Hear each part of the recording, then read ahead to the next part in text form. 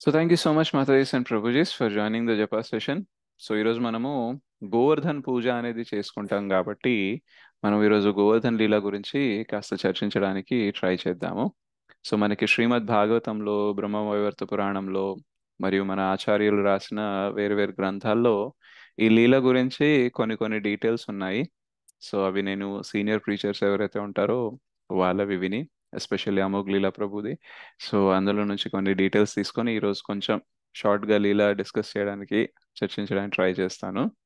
So మనము గోవర్ధన్ లీల అనేది ఎంత ప్రాముఖ్యమైన లీల అంటే మనకి మనం వృందావన్ యాత్ర వెళ్ళామనుకోండి. సో వృందావన్ యాత్రకి వెళ్తే ఎవరి పరిక్రమ చేస్తాం మనము?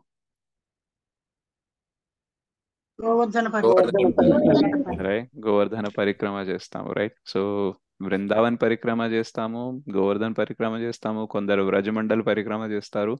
బట్ ఫైనల్లీ ఒక మనం యాత్రకు వెళ్ళామంటే మాత్రం గోవర్ధన్ పరిక్రమ ఖచ్చితంగా చేస్తాము. సో అందులో బడి పరిక్రమ చోటి పరిక్రమ అనేసి ఉంటుంది. ఒకటి నైన్ కిలోమీటర్స్ ఒకటి ట్వంటీ టూ కిలోమీటర్స్. సో ఈ గోవర్ధన్ లీల ఏదైతే జరిగిందో రైట్ కృష్ణ టైంలో దానికంటే ముందు కూడా కొన్ని డీటెయిల్స్ ఉన్నాయన్నమాట. సో ఒకసారి పులస్త్యముని ద్రోణాచల్ పర్వత్ దగ్గర వెళ్ళారనమాట సో ఆ ద్రోణాచల పర్వత్ దగ్గర వెళ్ళేసి అడిగారనమాట ఏంటంటే నాకు ఒక పర్వతం కావాలి. నేను తపస్సులు అవి చేసుకోవడానికి సాధన అవి చేసుకోవడానికి ఒక మంచి పర్వతం కావాలి. సో నీ దగ్గర ఏవైతే పర్వతాలు ఉన్నాయో నీ ఆధీనంలో అందులోకి వెళ్ళి నాకు ఏదైనా చూపించు.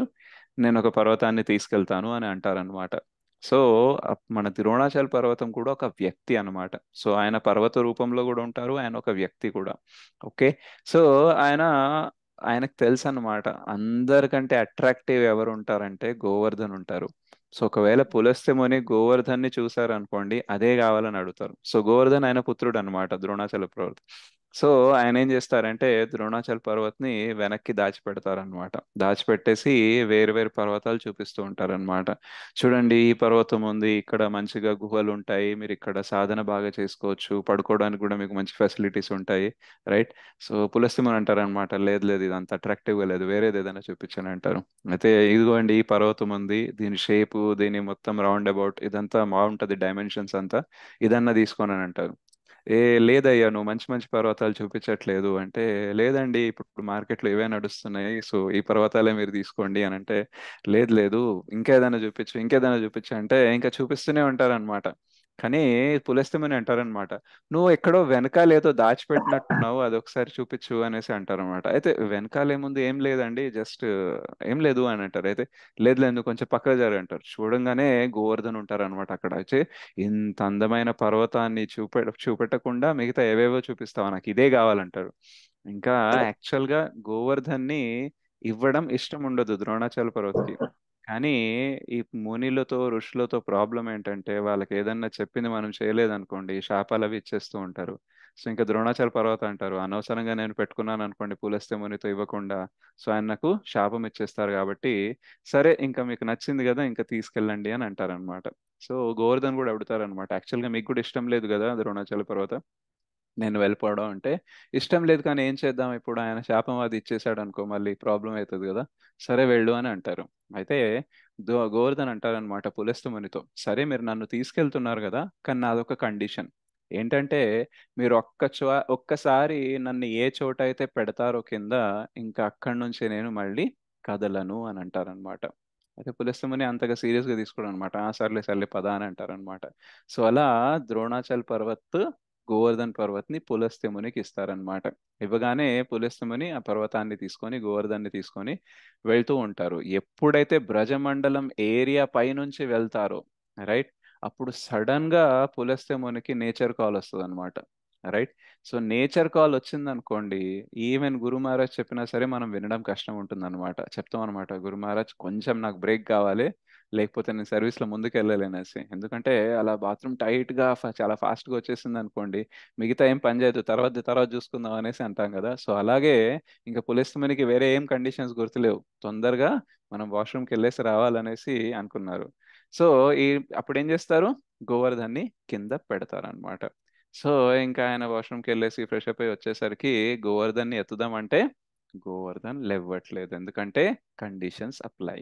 రైట్? సో అక్కడ పులస్తమునికి కోపం వస్తుంది అనమాట ఏంటి నువ్వు ఇట్లా చేస్తావా అది చేస్తావా? అనేసి ఆయనకి శాపం ఇస్తారనమాట నువ్వు రోజు రోజుకి నీ హైట్ అనేది తగ్గుతూనే ఉంటుంది. కొందరు అంటారు ఆవు గింజ అంత అనేసి కొందరు అంటారు మన నువ్వుల గింజ అంత అంత తగ్గుతూ ఉంటుంది అనేసి సో ఇలా తను గోవర్ధన్కి శాపం అనేది ఇస్తారనమాట అయితే ఇది ఎప్పుడు జరిగిందండి? ఇది సత్యయుగంలో జరిగింది.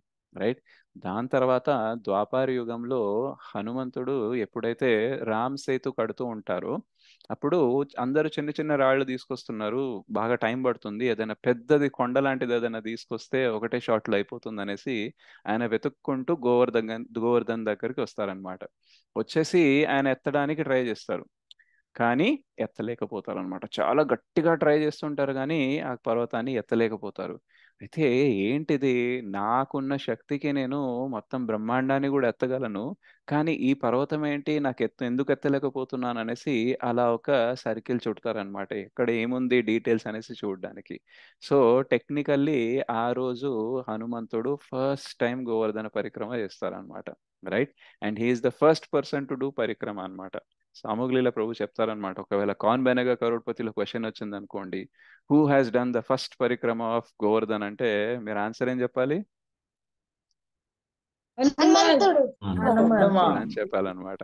సో అలా చుట్టు చుట్టిన తర్వాత ఆయన అడుగుతారనమాట అయ్యా మీరు ఎవరో ఒకసారి చెప్పండి అనేసి అంటారనమాట ఎందుకంటే నేను మిమ్మల్ని ఎత్త ఎత్తట్లేదు ఎత్తలేకపోతున్నానంటే అప్పుడు గోవర్ధన్ చెప్తారనమాట యా నేను గోవర్ధన్ని సో నేను ఇక్కడే ఉండాలని అనుకున్నాను ఇక్కడ ఫిక్స్ అయిపోయాను కాబట్టి నేను నువ్వు నన్ను ఎత్తలేవు అంటే సరే యాక్చువల్గా నేను మీకు ఆ రామచంద్రుని సర్వీస్లో పెట్టాలని అనుకుంటున్నాను.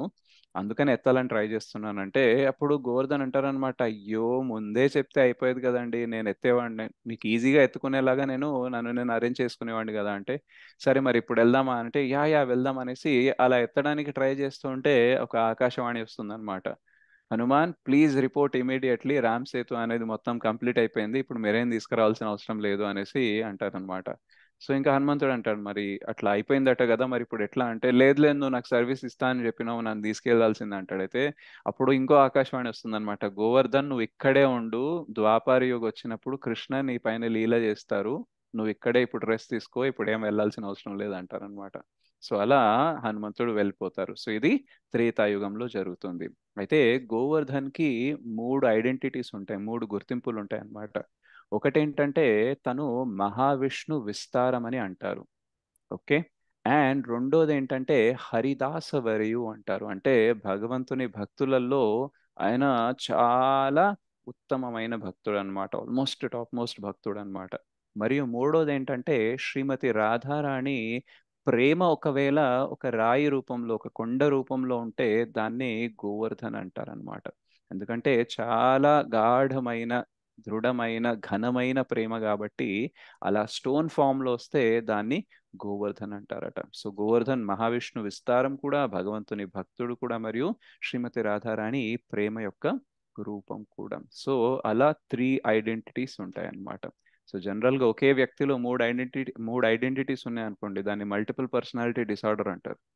రైట్? కానీ గోవర్ధన్ లో అలా ఉండదండి. మల్టిపుల్ పర్సనాలిటీ ఇన్ ఆర్డర్ ఉంటుంది అనమాట డిసార్డర్ అనేది ఉండదు. రైట్? సో మన లోపలైతే ఒక్క ఐడెంటిటీ ఉంటేనే ఎంతో డిసార్డర్ నడుస్తూ ఉంటుంది. కానీ అక్కడ రెండు మూడు ఐడెంటిటీస్ ఉన్నాయి ఏం కాదు. సో ఇది యాక్చువల్గా చాలా న్యాచురల్ అనమాట కొందరు గోపిలు కొందరు వ్యక్తుల్లో రెండు రెండు ఐడెంటిటీస్ ఉంటాయి. మనం అంటాము అద్వైతాచార్య మహావిష్ణు మరియు సదాశివ ఇంకార్నేషన్ అని అంటాం. రెండు మిక్స్ అలాగే వేరే వేరే సఖీస్లో కూడా ఒక గోప అండ్ అర్జున మిక్స్ అనేసి కూడా అంటుంటాం. సో ఇలా ఐడెంటిటీస్ డిఫరెంట్గా ఉండవచ్చు ఒకే వ్యక్తిలో. సో అలా మనం గోవర్ధన్ ఐడెంటిటీ గురించి తెలుసుకున్నాము. సో ఇంకా ఈ గోవర్ధన్ లీల అనేది చాలా చాలా ఫేమస్ ఎందుకు అయ్యింది అంటే మనం చూస్తాము. ఓ రోజు ఏమైతుందంటే బృందావన్లో అందరు ఏదేదో అరేంజ్మెంట్స్ చేస్తూ ఉంటారనమాట రైట్ బ్రాహ్మణులేమో మంత్రాలు ప్రాక్టీస్ చేస్తూ ఉంటారు. వేరే వాళ్ళేమో యజ్ఞకుండం తయారు చేయడానికి ప్రాక్టీస్ చేస్తూ ఉంటారు. మరియు ఇంకా ఆడవాళ్ళందరూ అటు నుంచి ఇటు సామాన్ అంతా మారుస్తూ ఉంటారు. ఇంకా మిగతా గోప గోప బాలురు కూడా వాళ్ళు ఏదేదో అరేంజ్మెంట్ చేస్తుంటారు సో ఏదో హడావిడి నడుస్తుంది. ఏంటిది తెలుసుకుందాం అనేసి కృష్ణ నందుబాబుని అడుగుతాడు. నాన్న అని అంటాడు. అయితే నందబాబాకి తెలుసు అనమాట కృష్ణ ఒక్కసారి క్వశ్చన్లు అడగడం స్టార్ట్ చేసిండు ఆయనకు ఆన్సర్ ఇవ్వడం స్టార్ట్ చేసినామంటే ఇంకా ఆయన ఆగడు. రైట్? మనం చిన్నపిల్లలు ఉంటాం కదా వాళ్ళకి ఏదైనా ఒక ఆన్సర్ ఇచ్చామనుకోండి అది ఎందుకు మళ్ళీ ఆన్సర్ ఇచ్చామనుకోండి ఇలా ఎందుకు? మళ్ళీ ఆన్సర్ ఇచ్చామనుకోండి ఇలా ఎందుకు అనేసి కంటిన్యూస్గా క్వశ్చన్లు అడుగుతూనే ఉంటారు కదా. సో కృష్ణతో అయితే అసలు పెట్టుకోవద్దు అనేసి నందబాబు ఫస్ట్ ఇగ్నోర్ చేస్తారనమాట కానీ ఎంత ఇగ్నోర్ చేసినా సరే కృష్ణకి ట్రిక్స్ ఉంటాయి కదా ఏదో ఒకటి ఆన్సర్ తీయడానికి. సో అడుగుతారనమాట చాలా ప్రేమగా. ఇంకా నో అనలేక ఆన్సర్ ఇవ్వకుండా ఉండలేక ఉండేటట్టు సిచ్యువేషన్ క్రియేట్ చేస్తాడు కృష్ణ. అప్పుడు నందబాబు చెప్తారనమాట యాక్చువల్గా మేము ఇంద్ర పూజ కోసము ప్రిపరేషన్స్ చేస్తున్నాం అని అంటారనమాట ఇంద్ర పూజ కోసమా? ఎందుకు అంటే ఆయనే కదా వర్షాల డిపార్ట్మెంట్ ఆయన ట్యాప్ ఓపెన్ చేస్తేనే మనకి వాటర్ అనేది వస్తాయి. సో మనం ఆయనకు పూజ చేయాల్సిందే అంటే అవునా?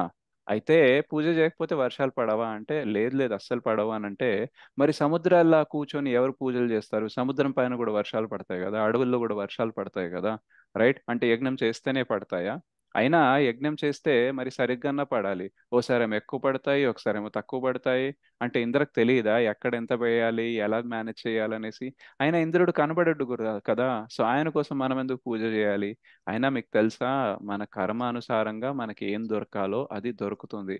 ఇలా పూజలు యజ్ఞాలు చేయాల్సిన అవసరం లేదనేసి మంచిగా కర్మ మీమాంస ఫిలాసఫీ ఇస్తారనమాట సో చాలా మంది ఎవరైతే కర్మ మీమాంస ఫిలాసఫీ ఫాలో అవుతారో వాళ్ళు కూడా అంటారనమాట కృష్ణ కూడా కర్మ గురించే చెప్పిండు రైట్? సో కర్మ చేస్తే చాలు ఇంకేం చేయాల్సిన అవసరం లేదన్నట్టుగా చెప్తారనమాట సో కృష్ణ ఫోకస్ వేరే ఉండే రైట్? సో చాలాసార్లు ఏమవుతుందంటే కంటెంట్ని చూసి కాంటెక్స్ట్ మర్చిపోతాం అనమాట అంటే ఏం చెప్తున్నారు అనేది చూసి ఎందుకు చెప్తున్నారనే సందర్భాన్ని మర్చిపోయి మనం ఏంటంటే రాంగ్ కన్క్లూజన్స్ తీసుకుంటాం అనమాట సో అక్కడ సంభవం ఇంకా నందబాబాని కన్విన్స్ చేసేస్తారు రైట్ అండ్ బ్రజవాసీస్ ఏంటంటే కృష్ణ ఏం చెప్తే అది వింటారనమాట రైట్ దానికి తిరుగు చెప్పరు. సో మనం ఒకవేళ బ్రజవాసీస్ అవ్వాలనుకోండి మొదటి క్వాలిటీ ఏంటంటే కృష్ణ ఏం చెప్తే అది చేయాలన్నమాట. సో కృష్ణ ఏం చెప్తారు ఎయిటీన్ సిక్స్టీ సిక్స్లో సర్వధర్మాన్ పరిత్యజ మామేకం శరణం వ్రజ అహం త్వాం సర్వ పాపేభ్యో మోక్షయిష్యామి మా శూచ నాకు సరెండర్ అవ్వమని చెప్తారనమాట so Brajavasis are always surrendered souls అనమాట కృష్ణకి రైట్? ఏదో ఒక రూపంలో. సో అలా అందరూ కన్విన్స్ అయిపోతారనమాట సరే ఇందర్ పూజ చేయడం లేదు. మరి నెక్స్ట్ క్వశ్చన్ ఏంటంటే మరి ఏం చేద్దామంటే గోవర్ధన్ పూజ చేద్దాం. ఎందుకంటే గోవర్ధన్ నుంచే మనకు అంత పోషణ అనేది దొరుకుతుంది. మన ఆవులకి మన గోవులకి మరియు వాటి దూడలకి మరి చాలా ఫ్రూట్స్ ఫ్లవర్స్ అన్నీ వస్తున్నాయి కాబట్టి యాక్చువల్గా మనం గోవర్ధన్కి పూజ చేయాలనేసి. కానీ తెలియదు కదా గోవర్ధన్ పూజ ఎట్లా చేయాలి ఏం చేయాలి? మరి ఏంటి ప్లాన్ అంటే సరే మనం ఏం చేద్దామంటే గోవర్ధన్కి మనము ఆఫరింగ్ ఇద్దాం అనమాట సో అది పెద్ద పర్వతం కదా. మనం కూడా చిన్న చిన్న పర్వతాలని క్రియేట్ చేద్దాం. మనం ఆఫరింగ్తో ఎట్లా అంటే ఒక పెద్దగా అన్నకూటలాగా తయారు చేద్దాం. రైట్? అన్నంతో ఉండే ఒక చిన్న కొండ. రైట్? మిగతా ఒక కేక్స్ లాంటిది తయారు చేద్దాం. స్ట్రాబెర్రీ కేక్ వెనిలా కేక్ ఇట్లా అనేసి ఒక చిన్న చిన్న కొండలు. మరియు ఘీ మజ్జిగ మరియు దాల్ కర్రీ ఇట్లాంటి చిన్న చిన్నగా పాండ్ లాగా క్రియేట్ చేద్దాం. సో మొత్తం చేసి అక్కడ మన గోవర్ధన్కి ఆఫరింగ్ అనేది ఇద్దామని చెప్తారనమాట సో యాజ్ యూజువల్లీ కృష్ణ చెప్పింది అందరు వింటారు కాబట్టి అలా ప్రిపరేషన్ అనేది స్టార్ట్ చేశారనమాట స్టార్ట్ చేసి ఇంకా అన్ని అరేంజ్ చేశారు గోవర్ధన్ ముందు. సో గోవర్ధన్ ఏమో పెద్ద పర్వతము దాని ముందేమో చిన్న చిన్న పర్వతాలు ఈ అన్నకూటలు. మనం ఈరోజు హ్యాబిట్స్కి వెళ్ళామనుకోండి అక్కడ కూడా మీరు అన్నకూటాలు చూస్తారనమాట సో అలా మొత్తం అరేంజ్ చేస్తారు. అరేంజ్ చేయగానే అందరు గోవర్ధన్ వైపు చూస్తూ ఉంటే అందరు మెల్లిమెల్లిగా అబ్జర్వ్ చేయడం స్టార్ట్ చేస్తాం అనమాట గోవర్ధన్కి కళ్ళు ఉంటాయి రైట్? అరే గోవర్ధన్కి కళ్ళు ఉంటాయా? ఇప్పటిదాకా ఎప్పుడు చూడలేదే? అరే గోవర్ధన్కి ముక్కు కూడా ఉందా? అరే గోవర్ధన్కి ఇలా ముఖం కూడా ఉందా? అండ్ నవ్వుతున్నాడు కూడా గోవర్ధన్. గోవర్ధన్కి భుజాలు కూడా ఉన్నాయి. ఒక్క నిమిషం ఒక్క నిమిషం. ఏంటిది?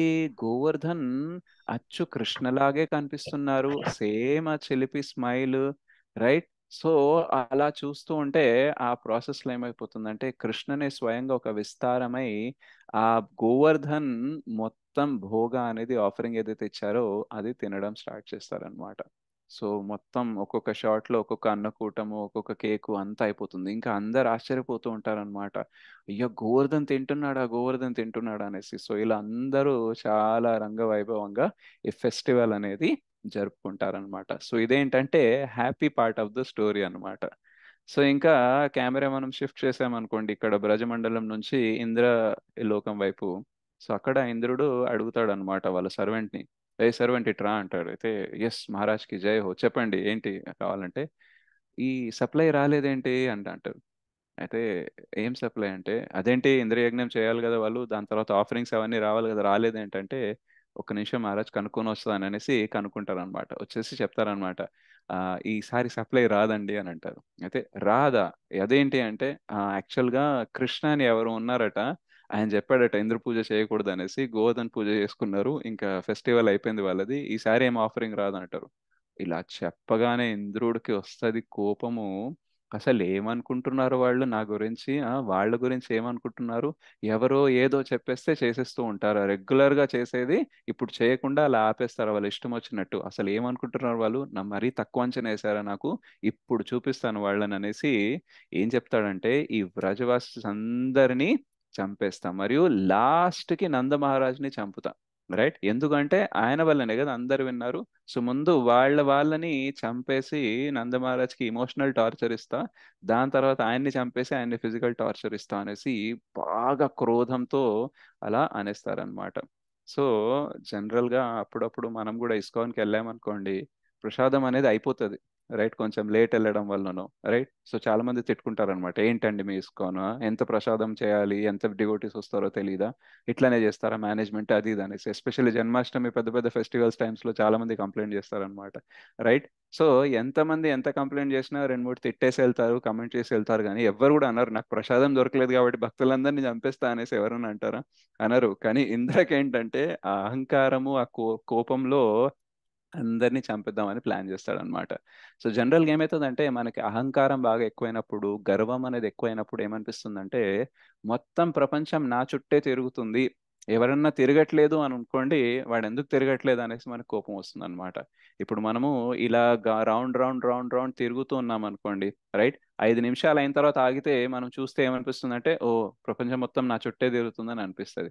సో ప్రైడ్ ఉన్నప్పుడు గర్వం బాగా ఉన్నప్పుడు ఏమవుతుందంటే అలాగే జరుగుతుంది అనమాట అందరూ నా మాట వినాలి నేనే అన్ని కంట్రోల్ చేస్తున్నాను అనే ఫీలింగ్లో ఉంటుంది అనమాట సో సిమిలర్లీ ఇంద్రకి కూడా అంత గర్వం వచ్చేసింది అనమాట ఇంకా సంవర్తక సాంవర్తక బా క్లౌడ్ని పిలుస్తారనమాట పిలిచి అంటారనమాట సంవర్తక ఇప్పుడు నువ్వు వ్రజమండలం మీద వర్షం అనేది కురిపించాలి అనేసి అంటారనమాట అయితే ఆయన అంటాడనమాట మహారాజ్ యాక్చువల్గా నన్ను పిలిచారు కానీ నా డ్యూటీ ఇప్పుడు ఉండదు ప్రళయ సమయంలో ఉంటుంది. ఎందుకంటే నా కెపాసిటీ ఎంత హై ఉంటుందంటే నేను స్టార్ట్ చేస్తే వ్రజమండలం కాదు మొత్తం ఎర్త్నే పృథ్వీనే నేను ముంచేయగలనంటే ఆ నాకు తెలుసులే కానీ నువ్వు ఇది చేయాల్సిందే అని అంటాడు అనమాట అయితే ఇప్పుడు టైం కాని టైంలో నన్ను పిలిచి ఇది చేయమంటున్నారు. అసలు ప్రాబ్లం ఏమైందంటే చెప్తాడనమాట అక్కడ బృందావనంలో ఎవరో కృష్ణ ఉన్నాడట ఆయన చెప్పాడట ఇంద్ర పూజ చేయకూడదు ఆయన గోవర్ధన్ పూజ చేస్తాడట వాళ్ళందరికీ బుద్ధి చెప్పాలంటే పేరేమన్నారు అంటాడు. అయితే కృష్ణ అని అంటాడు.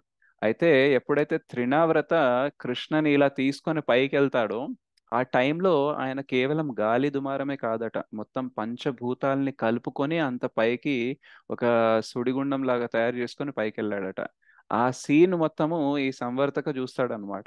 చూసి అర్థమవుతుంది అనమాట కృష్ణ మామూలుడు కాదు అనేసి. సో ఈయన ఇంద్రని అడుగుతారనమాట నిజంగానే ఆలోచించుకున్నారా? నిజంగానే ఈ ప్రాజెక్ట్ అనేది ఇప్పుడు మనం చేయాలా అంటే? ఇది చేయాల్సిందే అంటాడట. ఏమి వినడు.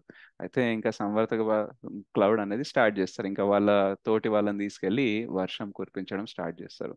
సో మనకు ఆచార్యస్ చెప్తారనమాట ఆ సంవర్తక వర్షం ఏదైతే స్టార్ట్ చేస్తారో ఆ క్లౌడ్ నుంచి ఒక్కొక్క చుక్క అనేది ఒక్కొక్క పిల్లర్ అంత పెద్దగా ఉంట ఉంటుందట రైట్? ఏనుగు సొండం అంత పెద్దగా ఉంటుందట మామూలు ఏనుగులు కాదు పెద్ద పెద్ద ఏనుగులు ఎంత ఉంటాయో అంత ఒక్కొక్క చుక్క రైట్? సో అట్లాంటిది ఒక జడివాన లాగా కురుస్తూ ఉంటే విధ్వంసం అనేది న్యాచురల్ అవ్వాల్సిందే. సో అలా స్టార్ట్ అవుతుంది వర్షం. అలా వర్షం స్టార్ట్ అవ్వగానే అందరికి ఇంకా అనిపిస్తుంది అనమాట యాక్చువల్గా సూర్యుడు కనబడ్డు. మరియు వాటర్ ఫ్లో ఎంత ఉంటుందంటే ఇంకా ఏం చేయాలి ఏం చేయకూడదు అనేసి అర్థం కాదు. చాలా మందికి అనిపిస్తుంది. అదేంటి ప్రళయం ఇంత తొందరగా వచ్చేసిందా అని అనిపిస్తూ ఉంటుంది అనమాట సో అప్పుడు అందరూ ఎవరి వైపు చూస్తారు? కృష్ణ వైపు చూస్తారనమాట సో అప్పుడు కృష్ణ పరిగెత్తుకుంటూ వాళ్ళ ఇంటి నుంచి ముందుకు గోవర్ధన్ వైపు వెళ్తూ ఉంటారు. వాళ్ళ ఫ్రెండ్స్ అందరు అడుగుతా ఉంటారు అనమాట హే కృష్ణ ఎక్కడికి వెళ్తున్నావయ్యా ఇప్పుడు ఇంత వర్షం పడుతుంది అని అంటే నేను ఇప్పుడు వెళ్ళేసి గోవర్ధన్ ఎత్తుతాను మీరు అందరు దాని కిందకి వచ్చేయండి అని అంటారు అనమాట నువ్వు గోవర్ధన్ ఎత్తుతావా రెండు మూడు రోజుల కింద రుబ్బు రోజులు జరపడానికి నీకు చేత కాలేదు ఇప్పుడు నువ్వు గోవర్ధన్ ఎత్తుతావా అంటారు.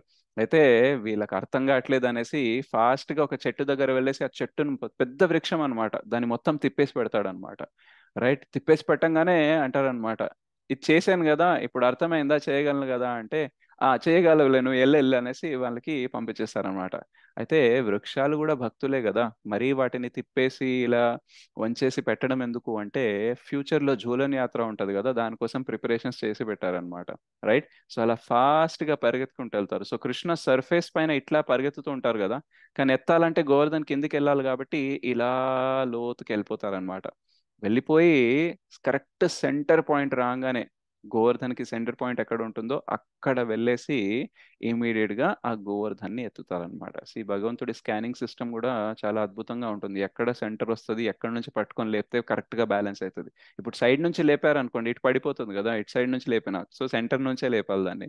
సో అలా లేపడానికి కృష్ణ ప్లాన్ చేస్తుంటే గోవర్ధన్ కింద ఒక ఆసన్ కూడా తయారు చేస్తారనమాట సో మీరు గోవర్ధన్ లీలాది ఎప్పుడైనా ఫోటో చూడండి. కృష్ణ ఒక స్టోన్ మీద నిలబడి దానిపైన గోవర్ధన్ ఎత్తుతారనమాట సో ఇలా గోవర్ధన్ని ఎత్తుతారు. ఎత్తేసి ఏమంటారు తెలుసా?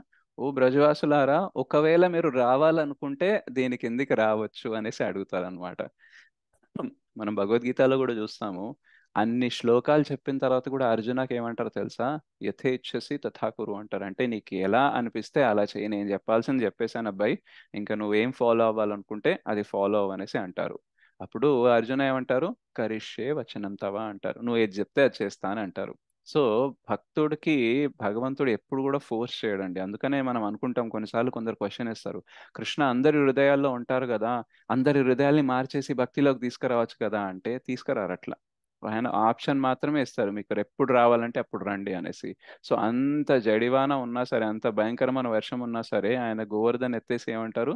మీరు రావాలనుకుంటే రావచ్చు అనేసి అంటారు అనమాట సో సిమిలర్లీ భగవంతుడు లీలలు చేసి మనకి ఎన్ని వేదాలు ఉపనిషత్తులు పురాణాలు అన్ని ఇచ్చి ఆప్షన్ ఇస్తారనమాట ఇవన్నీ మీరు ఫాలో అవ్వాలంటే మీరు అవ్వచ్చు అనేసి.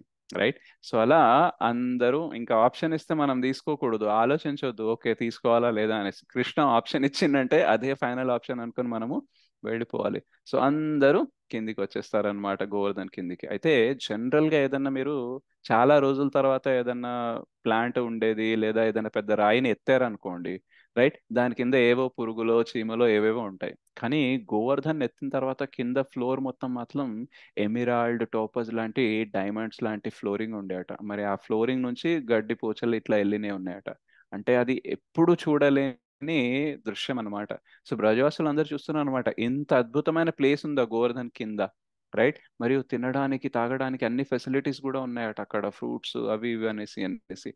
సో అందరు చూసి ఆశ్చర్యపోతారనమాట ఇన్ని ఫెసిలిటీస్ ఉండడం ఏంటి? ఇది ఇంత మెరవడం ఏంటి? ఇలా ఉండడం ఏంటి? ఇంత ఐశ్వర్యం ఇక్కడ అనేసి అందరూ చాలా ఆశ్చర్యపోతారనమాట సో కృష్ణ ఏం చేశారు? అలా గోవర్ధన్ని లిఫ్ట్ చేశారు. అయితే ఏడు రోజులు ఏడు రాత్రులు ఆయన కంటిన్యూస్గా అలా ఆ చిటికెన వేలు ఎడమ చేతి చిటికెన వేలు పైన గోవర్ధన్ పర్వతాన్ని ఎత్తి ఉన్నారట అయితే ఆయన అరేంజ్మెంట్ కూడా ఎలా చేశారంటే కృష్ణ అలా ఎత్తి నిలబడినప్పుడు బ్రజవాసులందరికీ ఆయన ఫ్రంట్ వ్యూనే కనబడేలాగా చేశారనమాట ఇప్పుడు జనరల్గా ఇలా ఎత్తాడు అనుకోండి అందరు చుట్టూ ఉన్నారు కాబట్టి వెనక వాళ్ళకి కృష్ణ వెనక భాగమే కనబడాలి వీపు మాత్రమే కనబడాలి. కానీ కృష్ణ ఎలా అరేంజ్ చేశారంటే తనకి తాను ఎవరు ఎక్కడి నుంచి చూసినా సరే కృష్ణ ఫ్రంట్ వ్యూ మాత్రమే కనిపిస్తుంది మరియు కృష్ణ వాళ్ళని మాత్రమే చూస్తున్నట్టు కనిపిస్తుందట. సో అందరూ ఏమనుకున్నారంటే అదేంటి కృష్ణ నా వైపే చూస్తున్నాడు నా వైపే చూస్తున్నాడు అనుకుంటున్నాను అందరికీ అదే అనిపించిందట. అండ్ ఆ టైంలో ఎవరు ఎవరి వైపు చూస్తున్నారు వేరే వాళ్ళు ఏం చేస్తున్నారు అని దాని మీద ఫోకస్ లేదనమాట. అందరు కృష్ణనే చూస్తున్నారు కృష్ణ అందరినీ చూస్తున్నారు. So eye to eye contact అనేది సెవెన్ డేస్ సెవెన్ నైట్స్ దాకా అలాగే ఉండదన్నమాట సో చాలా బ్రజవాసులకి అంటే గోపికలకేమో ఒక కోరిక ఉండేది. కృష్ణ పొద్దున్నే వెళ్ళిపోతాడు మళ్ళీ సాయంత్రం వస్తాడు. రోజంతా చూడడానికే దొరకదు. మళ్ళీ గోపబాలురు ఏమనుకుంటారంటే కృష్ణ సాయంత్రం ఇంటికి వెళ్ళిపోయాక మళ్ళీ కలవనే కలవడు అనేసి. సో ఇలా అందరికి ఏదో ఒక కంప్లైంట్ ఉండే. అంటే ట్వంటీ ఫోర్ బై సెవెన్ నాకు కృష్ణ అసోసియేషన్ దొరకట్లేదు అనేసి. సో ఈ ఇంద్ర కోపము ఆ గర్వాన్ని తుంచడానికి ఈ లీలలో ఇది కూడా కల్పేసుకున్నాడు అనమాట సరే బ్రజవాసులకి seven days seven nights full association నేను ఇవ్వాలి అనేసి ఆయన ఈ లీలని యూజ్ చేశారనమాట. సో అందరూ అలా చూస్తూనే ఉన్నారనమాట. కానీ శ్రీమతి రాధారాణి మాత్రం ఎప్పుడు కూడా కృష్ణని ఇట్లా డైరెక్ట్గా చూడదనమాట ఇంకా డైరెక్ట్గా చూస్తే కృష్ణకి అంత మామూలుగా నిలకడగా ఉండలేదు. సో చిన్నగా ఇట్లా డైగ్నల్ వ్యూతో చూస్తుంది అనమాట రైట్? సో ఇలా ఇట్ సైడ్ నుంచి కార్నర్ నుంచి ఒక లుక్ అలా వేస్తుంది అనమాట వేయంగానే కృష్ణ ఇట్లా షేక్ అయిపోతాడు అనమాట షేప్ అయి షేక్ అయ్యగానే అందరు అంటారనమాట అరే కృష్ణ అలసిపోయినట్టున్నాడు కృష్ణకి కొంచెం బలం తగ్గిందేమో అందరు కర్రలు పెట్టేయండి గోవర్ధన్ పడకుండా అనేసి అందరు కర్రలు తీసి పెడతారు అనమాట పెట్టంగానే కర్రలు విరిగిపోతూ ఉంటాయి. మళ్ళీ ఒక కాసేపట్లో మళ్ళీ కృష్ణ ఇట్లా స్టేబుల్ అయిపోతాడు. అయిపోగానే మన మధుమంగల్ అంటాడు అనమాట Madhumangal is one of the Brahmana boy. అది మొత్తం వైశ్య కమ్యూనిటీ కానీ అందులో మధుమంగల్ మాత్రం బ్రాహ్మణ. అయితే ఇంతకు ముందేమో అందరు చర్చిస్తూ ఉంటారు కృష్ణ ఎంత పవర్ఫుల్ అది ఇది అసలు ఎట్లా ఎత్తేసాడు అది ఇది అని డిస్కస్ చేస్తూ ఉంటే మధుమంగలు అంటాడు అనమాట సి అదంతా కాదు బ్రహ్మ తేజస్ అనేది కూడా ఒకటి ఉంటుంది బ్రాహ్మణుడికి రైట్? సో యాక్చువల్గా ఆయన వెనకాల ఎవరు ఉన్నారు అంటే అది బ్రహ్మ తేజస్సు నా నుంచి ఏదైతే వస్తుందో దానివల్లనే ఎత్తుతున్నాడు అనేసి ఆయన క్రెడిట్ తీసుకుంటాడు. మళ్ళీ ఇలా షేక్ అయిపోయిన తర్వాత మళ్ళీ స్టేబుల్ అవుతారు కదా అందరూ కృష్ణకి బలం తగ్గిందేమో అని అనుకుంటారు. అప్పుడు మధుమంగా చెప్తాడు అనమాట సి ఆయన బలరాముడి తమ్ముడు బలం అయితే మస్తుంటుంది ఆయన దగ్గర.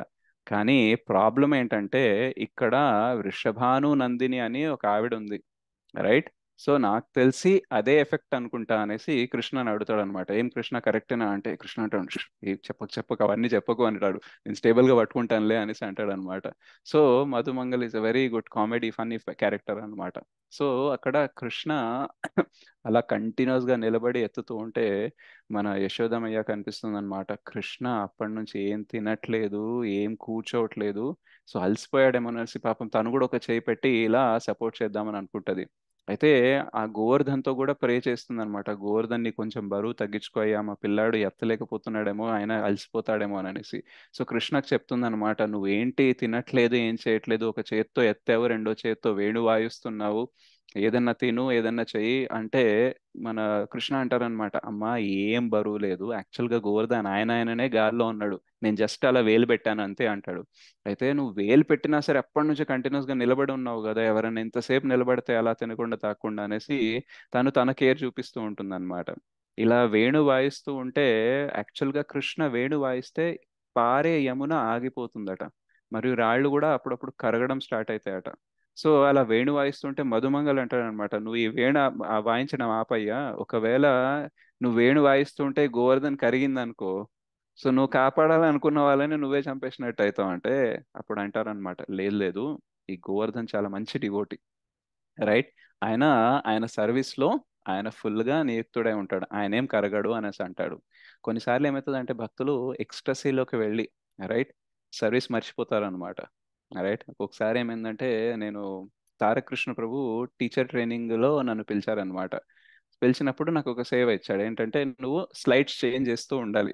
స్పీకర్ చెప్తూ ఉంటాడు. నువ్వు దాన్ని ఆ స్పీకర్ని బట్టి స్లైడ్స్ చేంజ్ చేస్తూ ఉండాలనేసి. నేను అక్కడ కూర్చున్నాను కీబోర్డ్ దగ్గర.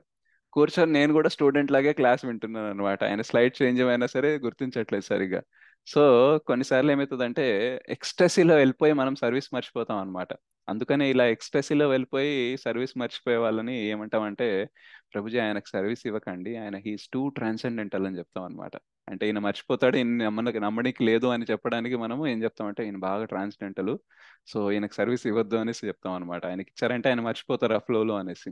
రైట్? సో అలా గోవర్ధన్ కూడా మర్చిపోతాడేమో కరిగిపోతాడేమో అనుకున్నారు. కానీ కృష్ణ అంటారు అనమాట లేదు ఆయన సర్వీస్ బాగా చేస్తాడు అనేసి అంటారనమాట అయితే భగవంతుడు ఇలా వేలు పెట్టి గోవర్ధన్ని టచ్ చేస్తారు కదా ఆ టచ్కి గోవర్ధన్కి ఇక గుద్గుది స్టార్ట్ అవుతుంది అనమాట రైట్? చెకిల్ గింతలు స్టార్ట్ అవుతాయి సో దానివల్ల అక్కడ పైన ఉండే పూలు అనేది రాలుతూ ఉంటాయి అనమాట మరియు ఆ గోవర్ధన్ పైన ఏవైతే చెట్లు ఉంటాయో రైట్? వాటి హైట్ ఎంతగా పెరిగిపోతుందంటే స్వర్గలోకంలో ఉండే వనాల్లో ఏదైతే గార్డెన్స్ ఉంటాయో అందులో ఆ హైట్ దాకా వెళ్ళిపోతాయి అనమాట అక్కడుండే చెట్లన్నీ ఈ గోవర్ధన్ పై నుంచి వచ్చిన చెట్లను చూస్తూ అంటే అనమాట ఎవరి చెట్లు ఇంత అందంగా ఉన్నాయి? వీళ్ళ ముందు మనమే చాలా అందవికారంగా కనిపిస్తున్నాము. ఎక్కడి నుంచి వచ్చాయి చెట్లు? అనేసి అందరు ఆశ్చర్యపోతారనమాట సో గోవర్ధన్ ఇంకా ఇంకా బ్యూటిఫుల్గా మారిపోతాడనమాట మరియు ఇలా ఏనుగు తొండం అంతా ఒక్కొక్క పిల్లర్ అంతా చుక్కలు పడుతూ ఉన్నాయి కదా ఈ జడివానలో అప్పుడు జనరల్గా ఏదన్నా విధ్వంసం అయిపోవాలన్నమాట నాశనం అయిపోవాలి. కానీ గోవర్ధన్ పైన ఒక్క గడ్డి పోచు కూడా కదలట్లేదట. మరియు అది కాకుండా కొన్ని జంతువులు అయితే మెల్లమెల్లగా అలా గోవర్ధన్ పైకి ఎక్కేసి ఇలా ఇంద్రుడి వైపు చూసేసి వాళ్ళని ఎక్కిరిస్తున్నాయి అనమాట అయిపోయిందా? ఇంకా ఏమన్నా ఉందా? ఏం పీకలేకపోతున్నావు కదా ఇక్కడ? గజ్జిపోషు కూడా కదలట్లేదు అనేసి అలా ఎక్కిరిస్తూ ఉంటాయట. సో మొత్తానికి ఆయన వర్షం పడిచ్చేసి రైట్ మొత్తం అందరినీ చంపించేద్దామని అనుకుంటున్నాడు. కానీ అక్కడ గడ్డి పోచ కూడా కదలట్లేదట. ఎందుకు అంటే భగవంతుని స్పర్శ ఉంది కాబట్టి. మన జీవితంలో కూడా ఇంద్రుని వజ్రపాతం లాగా ఆ సంవర్తక క్లౌడ్ వచ్చే వర్షాల్లాగా చాలా మంది చాలా రకాలుగా మనల్ని కష్టపెట్టడానికి ట్రై చేస్తూ ఉంటారు. కానీ భగవంతుని స్పర్శ మనకు ఉందనుకోండి దెన్ గడ్డి పోచు కూడా కదలి కదిలించలేకపోయారో ఎలాగైతే ఇంద్ర అలా మనల్ని ఏమి చేయలేరన్నమాట మన నాలిక పైన భగవంతుని నామము మన చేతనలో హృదయంలో కృష్ణ చైతన్యం అనేది ఉందనుకోండి రైట్?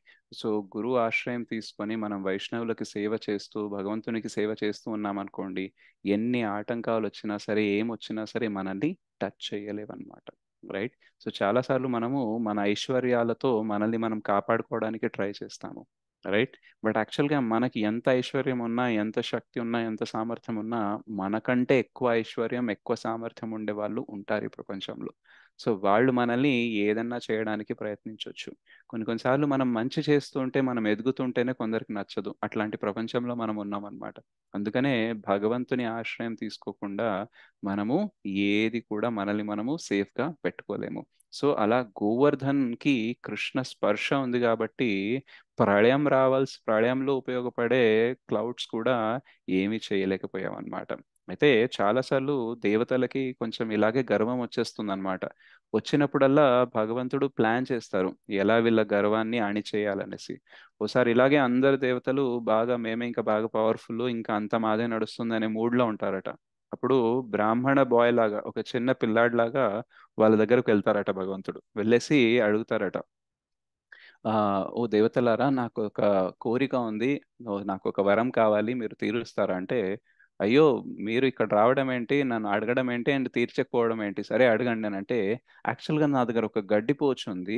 అది మీరు కొంచెం దానిని మంట అంటించేస్తే నేను కుకింగ్ చేసుకుంటా అంటారు.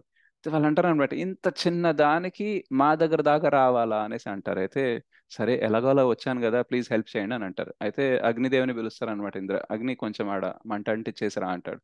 అగ్నిదేవుడు ఫుల్ ట్రై చేస్తాడు అనమాట ఆ గడ్డి పోచకి మంట తగలదు.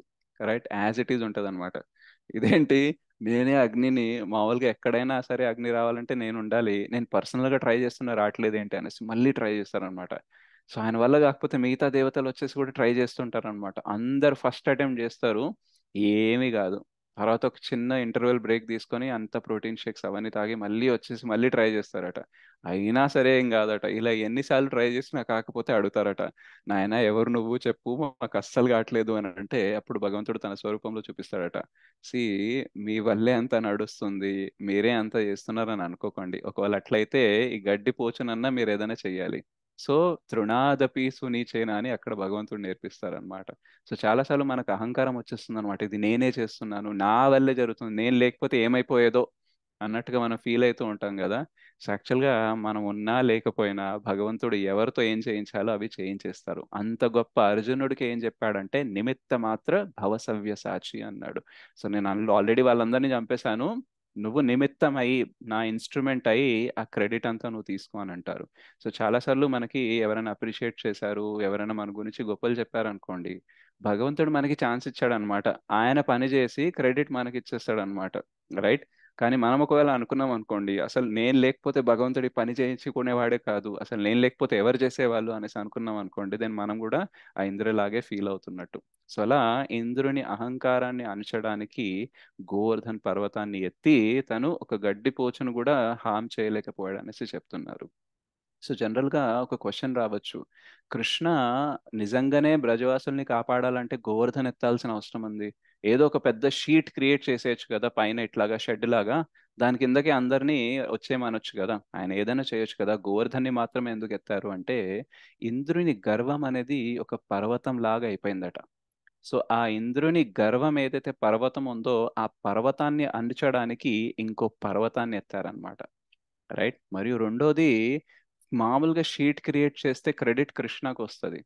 కానీ గోవర్ధన్ని ఎత్తి గోవర్ధన్ ప్రొటెక్ట్ చేస్తున్నాడంటే గోవర్ధన్కి యష్ అంటే గోవర్ధన్కి కీర్తి పెరుగుతుంది కాబట్టి అక్కడ. మరియు వీళ్ళందరికీ మంచి ఫెసిలిటీస్ ఇవ్వాలి అండ్ వీళ్ళందరికీ నా సాంగత్యం ఇవ్వాలి కాబట్టి ఇలా స్పెషల్ అరేంజ్మెంట్స్ కూడా చేస్తారనమాట సో కిందేమో కృష్ణ బ్రజవాసుల కోరిక తీరుస్తున్నారు. పైన ఇంద్రుని గర్వాన్ని అణిచేస్తున్నారు. అండ్ మిడిల్లో గోవర్ధన్ ఆయన కీర్తి పెరుగుతుంది. సో మనం అంటాం కదా ఒకే దెబ్బకు రెండు పెట్టాలనేసి. కృష్ణ ఒకే దెబ్బకు రెండు కాదు ఎన్ని పెట్టాలైనా కొట్టొచ్చు. రైట్? ఒక్క లీలలోనే అన్ని ఫెసిలిటీస్ క్రియేట్ చేసేసి అందరినీ సాటిస్ఫై చేస్తారనమాట. సో అందుకనే Krishna is super intelligent and super powerful and అందరినీ సాటిస్ఫై చేస్తారనమాట. చాలాసార్లు మనము భగవంతుడిలాగా ప్రవర్తించడానికి ట్రై చేస్తాం. అందరినీ సాటిస్ఫై చేయాలి నేను అందరినీ సాటిస్ఫై చేయాలంటాము. ఫైనల్లీ డిస్సాటిస్ఫాక్షన్ మన ఒక్కరికే మిగిలిపోతుంది అనమాట రైట్? సో అందుకనే మనము కొందరిని మాత్రమే సాటిస్ఫై చేయగలం. కానీ అందరినీ సాటిస్ఫై చేయాలంటే కృష్ణ మాత్రమే చేయగలరు అనమాట సో ఒకవైపు పైనుంచి చూస్తే వర్షం అనేది కురుస్తుంది కృష్ణ ఇలా గోవర్ధన్ని ఎత్తారు. కానీ సైడ్ నుంచి వాటర్ వచ్చే అవకాశం ఉంటుంది కదా రైట్? ఇలా వర్షం పడి ఇటు నుంచి రావచ్చు కదా.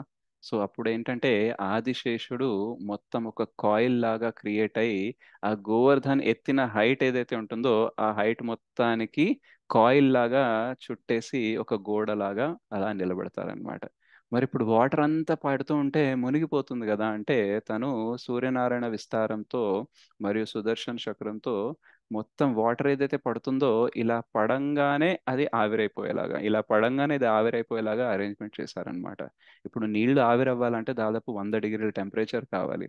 వంద డిగ్రీలు అంటే వేరే కూడా కాలిపోవచ్చు కదా. కానీ కృష్ణ ఎట్లా అరేంజ్ చేస్తారంటే కేవలం వాటర్ మాత్రమే వేపర్ అవుతుంది మిగతా దేనికి కూడా హీట్ తగలదు.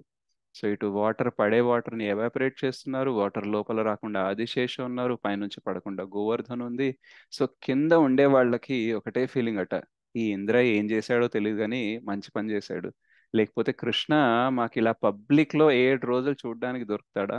ఎప్పుడైతే కంసుడిని కృష్ణ పట్టుకొని కొడుతున్నారు అక్కడ అంటే యుద్ధం అనేది జరుగుతుందో అక్కడ కుస్తీ జరుగుతుందో అక్కడ ప్రజవాసులు ఎస్పెషల్లీ గోపికలు అనుకునే వాళ్ళట కంస ఎంత లక్కీ తెలుసా? కృష్ణ అనేది పబ్లిక్లా టచ్ చేస్తున్నాడు. రైట్? కా అక్కడ చితక కొడుతున్నాడు చితక బాదుతున్నాడు. కానీ వీళ్ళకేమనిపిస్తుంది అంటే అది కాదు మ్యాటర్. సి మనము కృష్ణని పబ్లిక్లో చూడాలంటేనే ఇలా ఎంతో కష్టపడాలి రైట్? అట్లాంటిది కృష్ణ కంసుని పబ్లిక్లో టచ్ చేస్తున్నాడు.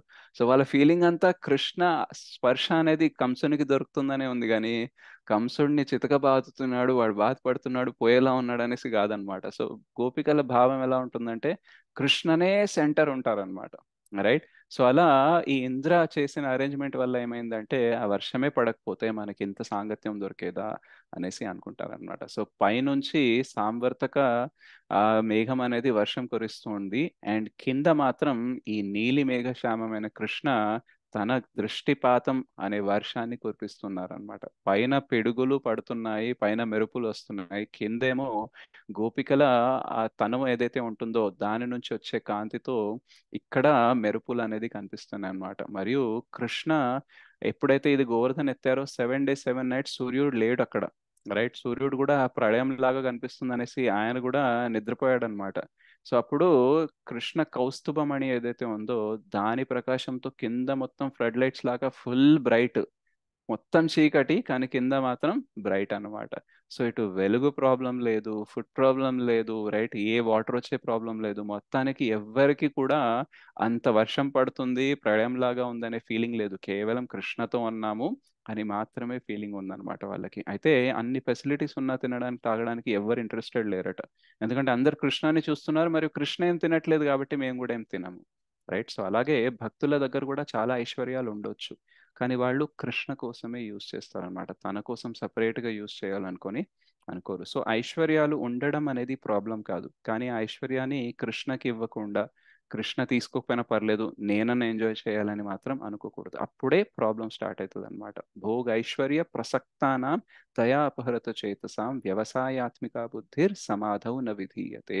సో భోగ ఐశ్వర్యాల మీద ఆసక్తి ఉన్నప్పుడు మాత్రమే ప్రాబ్లం అవుతుంది భక్తి చేయలేము. కానీ భోగైశ్వర్యాలు ఉంటే ప్రాబ్లం లేదు. కానీ వాటిపైన ఆసక్తి ఉంటే ప్రాబ్లం అనమాట ఆసక్తి ఉందనుకోండి మీ దగ్గర ఐశ్వర్యాలు ఉన్నా లేకపోయినా మీరు భక్తి చేయలేరు. ఎందుకంటే ఉందనుకోండి దాన్ని ఎంజాయ్ చేస్తారు. లేదనుకోండి అది సంపాదించాలని పరిగెత్తుతూ ఉంటారు. రైట్? సో ప్రాబ్లం ఐశ్వర్యాలు కాదు. ఐశ్వర్యాల పట్ల ఆసక్తి అన్నమాట. రైట్? సో ఇలా కింద ఒక సీన్ నడుస్తుంది పైన ఒక సీన్ నడుస్తుంది. ఇలా ఏడు రోజులు గడిచిపోయినాయి. గడిచిపోయిన తర్వాత సాంవర్తక్ దగ్గర స్టాక్ మొత్తం అయిపోయింది అనమాట ఆయన ఇంకా బాగా లావుగా ఉండే ఆయన కూడా బక్కగా చిక్కిపోయి ఆయన అంటారనమాట నా స్టాక్ అంతా అయిపోయింది ఇంకా పోయడానికి నా దగ్గర నీళ్ళు ఏం లేవు అనేసి. ఇంకా మిగతా అందరూ కూడా ఎవరెవరైతే ఇంద్ర పంపించాడో అందరూ అలసిపోతారు. ఇంద్రుడు కూడా తన వజ్రంతో ఏదైతే వజ్రాయుధం ఉంటుందో దాంతో కూడా ఎంత ట్రై చేసినా సరే ఏమీ చేయలేకపోతారనమాట ఇంకా అందరు కింద పడున్నారు. అప్పుడప్పుడు మనము టూ త్రీ డేస్ కంటిన్యూస్గా వర్క్ చేసి వచ్చిన తర్వాత నిద్ర లేకుండా ఎలా పడుంటామో ఇంకా వాళ్ళు ఏడు రోజులు ట్రై చేశారు కదా అలా పడిపోయారనమాట ఇంద్రునికి ఒక్కొక్క నిమిషం ఒక్కొక్క యుగం లాగా గడిచిందట. ఎందుకంటే ఆయన ట్రై చేస్తున్నాడు ఏం కావట్లేదు. కింద మాత్రం వీళ్ళకి ఏడు రోజులు ఏదో ఏడు క్షణాల్లాగా గడిచిపోయినాయట. సో మనకి బాధల్లో ఉన్నాం అనుకోండి టైం చాలా స్లోగా నడుస్తుంది. అదే సంతోషంగా ఉన్నాం అనుకోండి ఫాస్ట్ అయిపోతుంది. రైట్? ఎవరన్నా మనకి నచ్చని వ్యక్తి మన ఇంటికి వచ్చాడు అనుకోండి ఎప్పుడెప్పుడు పోతాడా? అప్పుడే పది నిమిషాలైంది ఇంకా పోవట్లేదా అని అంటాం. అది బాగా నచ్చిన వ్యక్తి వచ్చాడు అనుకోండి అప్పుడే గంట అయిపోయిందా? అప్పుడే టూ అవర్స్ అయిపోయిందా? అని అనుకుంటారు. రైట్? సో అలా కింద బ్రజవాసులకేమో ఏడు రోజులు ఎప్పుడైపోయా తెలియట్లేదు పైన ఇంద్రుడికేమో ఒక్కొక్క క్షణం ఒక్కొక్క యుగం లాగా గడుస్తుంది అనమాట సో మొత్తానికి ఇంద్రుడు అలసిపోయాడు. అండ్ వర్షం అనేది ఆగిపోయింది. కింద ఉన్నవాళ్ళు మాత్రం హ్యాపీగా అరే అప్పుడే అయిపోయిందా? ఇంకొన్నాళ్ళు ఉంటే బాగుండేది అనేసి వాళ్ళు అనుకున్నారనమాట సో అయితే ఎప్పుడైతే ఇది అయిపోతుందో లీల తర్వాత యశోదమై డిసైడ్ చేస్తుంది అనమాట కృష్ణ నేను నీకు రోజు ఎయిట్ ఐటమ్స్ పెడతాను రైట్? కానీ నువ్వు సెవెన్ డేస్ నుంచి ఏమి తినలేదు కాబట్టి seven into eight fifty six items నీకు ఈరోజు ఆఫర్ చేస్తానంట. సో చెప్పన్ భోగ్ అనేది ఫస్ట్ ఫౌండర్ ఎవరు? యశోదమయ్య అనమాట సో సెవెన్ డేస్ కృష్ణ తినలేదు కాబట్టి అందుకు చాలా మంది క్వశ్చన్ వస్తుంది ఫిఫ్టీ ఫైవ్ ఎందుకు కాదు? ఫిఫ్టీ ఫోర్ ఎందుకు కాదు? ఫిఫ్టీ సెవెన్ ఎందుకు కాదు? అంటే ఫిఫ్టీ సిక్స్ ఎందుకు అనమాట seven days Krishna eight items తినలేదు కాబట్టి seven into eight fifty six Chappan Bhog అనేది ఆఫర్ చేస్తాం. సో ఇక్కడ లీల అయిపోయిందా? దాని తర్వాత ఇంద్రుడికి అడక అర్థమైంది ఇంద్రుడికి నేను ఎవరితో పెట్టుకున్నాను? ఎంత చేసినా సరే ఏమి కాకుండా ఒక్కడే చూసుకోగలడు అది భగవంతుడు. సో డెఫినెట్లీ కృష్ణ నే భగవంతుడు అనేసి తెలుసుకుంటారు. ఇప్పుడు జనరల్గా కృష్ణ పట్ల అపరాధం చేస్తే పర్లేదు. ఆయన ముందెళ్ళేసి అనొచ్చు. నేను ఏదో చెత్తగా బిహేవ్ చేశాను ఏదేదో తప్పుడుగా బిహేవ్ చేశాను పాపం చేశాను నన్ను క్షమించి అనేసి చెప్పొచ్చు. కానీ కృష్ణ భక్తుల్నే చంపడానికి ట్రై చేసిండు ఇంద్ర. సో ఏ మొహం పెట్టుకొని క్షమాపణ అడగడానికి వెళ్ళాలనేసి అర్థం కాక బ్రహ్మదేవుడి దగ్గర వెళ్తే ఆయన చెప్తారనమాట నువ్వు డైరెక్ట్గా వెళ్తే కొంచెం కష్టమే కానీ సురభిని తీసుకెళ్ళు అంటారు. రైట్? సో ఒకవేళ సురభి లెటర్ హెడ్ మీద నీ పేరు ఉంది క్షమాపణ రాజీ అంటే క్షమాపణ మాకు కావాలి అనేసి అడిగావు అనుకో దెన్ నీ అప్లికేషన్ అనేది అపాలజీ అప్లికేషన్ అనేది యాక్సెప్ట్ అవ్వచ్చు. సో సురభిని తీసుకెళ్ళని అంటారు. సో సురభి అంటే చాలా ఇష్టం అనమాట Surabhi cow. Okay? So Surabhi first వెళ్తుంది. వెళ్ళగానే కృష్ణ అడుగుతారు ఏంటి రాక విషయం ఏంటి? అని అంటే సురభి అంటది అనమాట నా వెనకాల ఒక ఆయన ఉన్నాడు ఆయన మీతో మాట్లాడాలి అని అంటారు అయితే అవునా రమ్మను అని అంటే అంటాడు. సో ఇంకా ఇంద్రుడు స్టార్ట్ చేస్తాడు అనమాట ఐఎమ్ వెరీ సారీ. రైట్ నాకు తెలవలేదు మీరెవరో. ఓకే. ఏం చేయాలా ఏం చేయకూడదు ఎవరు మీరు మీకు ఏం చేయాలి మీ వాళ్ళని నాకు తెలియదు రైట్? అప్పుడప్పుడు మనం చూస్తాం కదా రైట్? ఎప్పుడైతే తెలియకుండా ఒక ఆయన పెట్టుకుంటాడు ఆయన పర్సనాలిటీ చాలా పెద్ద అనుకోండి ఇంకా చాలా ఔదార్యము చాలా హ్యూమిలిటీ వచ్చేస్తుంది కదా. అట్లా ఇంద్రుడు ఇంకా ఏడవడం స్టార్ట్ చేసిండు అనమాట చేసి ఇంకా అన్ని ప్రేయర్స్ ఆఫర్ చేస్తారు.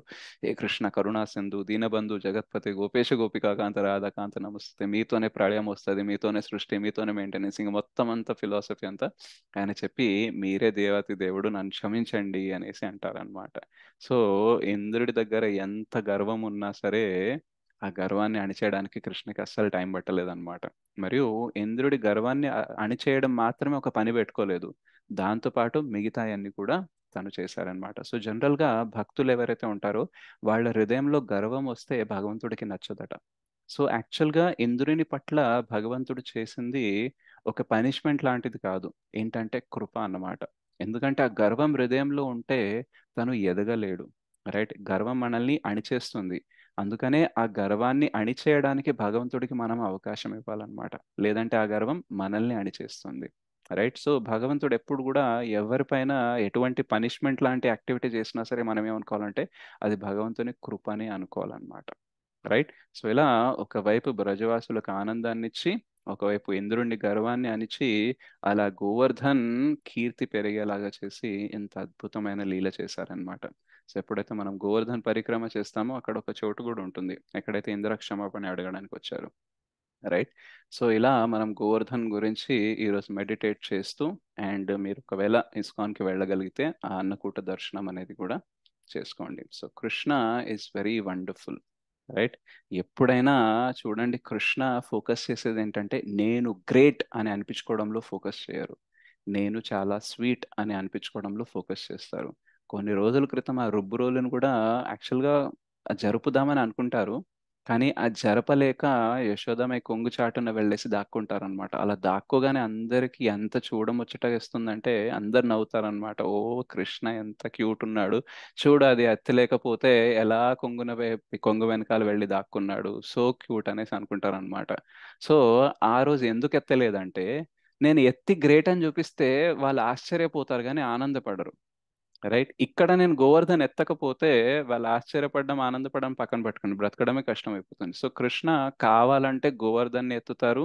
లేదు అంటే రుబ్బురోలు జరపడానికి కూడా ఫెయిల్ అవుతారు అనమాట సో ఆయన ఆ పర్టికులర్ సిచ్యువేషన్లో ఏం చేస్తే లీల మాధుర్యం పెరుగుతుందో అది ఫోకస్ చేస్తారనమాట సో అందుకనే మనకి చాలా అవతారాలు ఉన్నాయి. కానీ కృష్ణ ఎస్పెషల్లీ భౌమ్య బృందావన్కి వచ్చినప్పుడు చేసే లీలలు చాలా చాలా స్వీట్గా ఉంటాయి అనమాట and no one else can do it. Right? Even Ram లీలలో కూడా చాలా స్వీట్ పాస్ టైమ్స్ ఉంటాయి. బట్ కృష్ణ లీలలో ఉన్నంత మాధుర్యం ఎక్కడ ఉండదు అనమాట బికాస్ కృష్ణ హాస్ డిసైడెడ్ ఈ లీలలో నేను అన్ని మిక్సప్ చేయాలి. రైట్? అందుకనే మనం దామోదర్ లీల గురించి చర్చించేటప్పుడు కూడా చెప్తాము. ఈవెన్ కన్నీళ్ళు రావడం ఏంటి? భగవంతుడికి ఆయన తూడ్చుకోవడం ఏంటి? రైట్? ఆయన ఊపిరి పీల్చుకుంటుంటే అందులో కూడా అందంగా కనిపించడం ఏంటి? సో ఇలా భగవంతుడు ప్రతి డీటెయిల్ని ప్రతి యాక్టివిటీని ఆ లీలలో మాధుర్యం పెంచితే మనం చర్చకి చర్చించుకున్నప్పుడు కూడా మనకు ఆనందంగా ఉంటుంది. దానివల్ల ఆయన పట్ల ఇంకా ఇంకా ఆకర్షితులు అవుతాం అనేసి ఆయన ఇవన్నీ చేస్తూ ఉంటారు. ఒక పర్సన్ చాలా గ్రేట్ అనుకోండి మనం క్లాప్స్ కొడతాం. ఆయన చాలా స్వీట్ అనుకోండి ఆయన్ని ముద్దు పెట్టుకోవాలని కౌగిలించుకోవాలని అనిపిస్తుంది. సో కృష్ణ వాంటెడ్ దాట్ ఆయన గ్రేటే బట్ ఆయన greater than the greatness of Krishna is his sweetness.